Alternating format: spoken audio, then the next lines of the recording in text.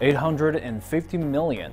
That's the number of people who have escaped poverty in China over the past 70 years, which is more than the entire population of Europe.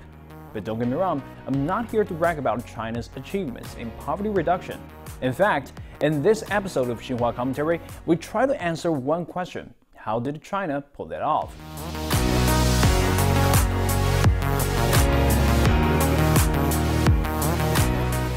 We could dig into what specific measures and policies China used, like releasing preferential tax policies, improving the use of anti-poverty funds, and establishing online platforms for selling agricultural products from poverty-stricken areas.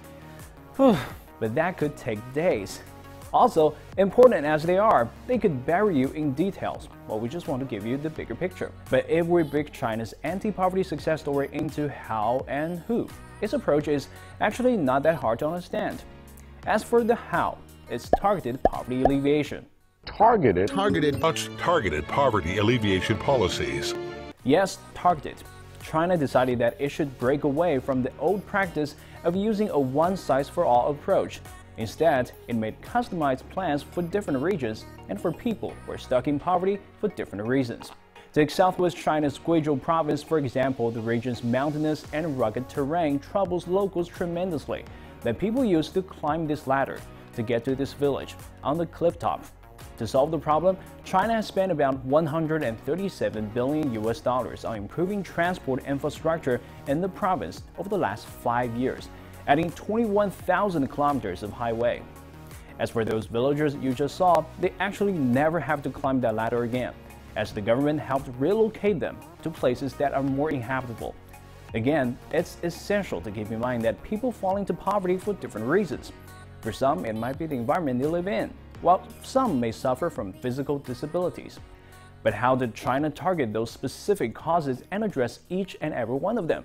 This clip might give you some insight. If you are classified as poor, then you're included on the National Poverty Register and you'll get help from a local official. And if you look at this here, this family of three is actually poor because of the father is disabled. And thanks to government assistance to help them raise pigs and chicken, also to cover healthcare because of the father, and to help them build a new home, the family increased their annual income in 2017 to over 7,000 kuai. See, different problems, different solutions. The country's targeted poverty alleviation efforts also include various arrangements to create work opportunities and give people job training. And this village in central China's Hubei province is just a perfect example. As online sales increase in popularity, e-commerce training courses have been organized for Jianshi County residents. Some villagers who couldn't even use smartphones before have started their own live streams to sell the local produce.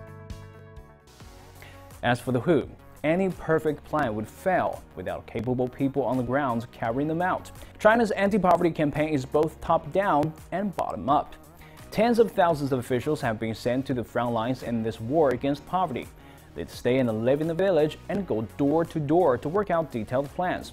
It took years of tremendously hard work, and some of them even risked their lives. For people outside China, it might be difficult to understand why someone would go so far as to risk their lives to do this so they'll go with their own logic. Oh, it must be for show, it's all political maneuvers. But if that's really the case, I sincerely hope more political parties in the world will be doing shows like this. Then real people's lives will get better. Hundreds of millions more of them.